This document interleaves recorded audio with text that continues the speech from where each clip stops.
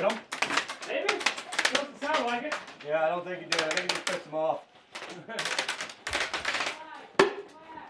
Hey, they close enough to put a fucking grenade?